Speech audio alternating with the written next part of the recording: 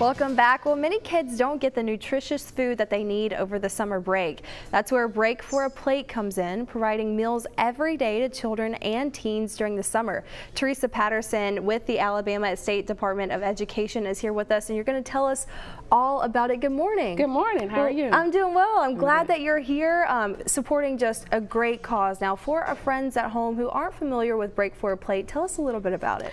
Well, Break for the Plate is uh, we receive funds from US USDA, and it's administered through the Department of Education. Mm -hmm. And we uh, provide training for anyone who wants to be a sponsor to be able to serve kids meal throughout the summer while they're on a break. And so the parents can go to our website, which is www.breakforaplate.com, put in their zip code, and be able to find feeding sites that are near them. Yeah, so tell me what these feeding sites look like. Tell me about what this process looks like for those children and teens who want to get involved.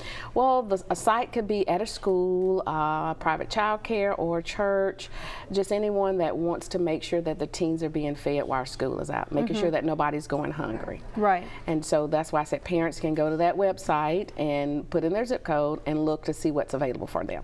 Now, our folks at home can also help to help out too, and we're seeing some video of what you guys do and just um, of what you promote as well as that. Now, if someone wants to help you guys out in any way, you guys have a variety of ways that we can help out, right? Right. If they, if a person or a church or a school wants to be a sponsor, they first have to come to training uh -huh. um, with us and learn about the program, and then one of our ed specialists will go out and make sure that the site is, you know, is approved right. before they can start feeding. Now, what does that training look like? Well, it's just telling them about the program, what they could serve, what's allowable, talks about meal choices and things like that. Mm -hmm.